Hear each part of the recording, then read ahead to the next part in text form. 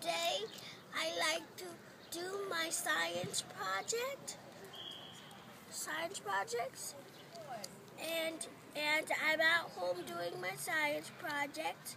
My name is Vivian Shaw, and I'm gonna see if this pencil, uh, this bag, the water is in this bag, and I'm gonna see when I put the pencil in if it leaks or not.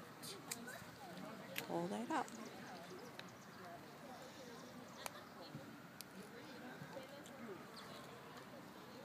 Hold it up.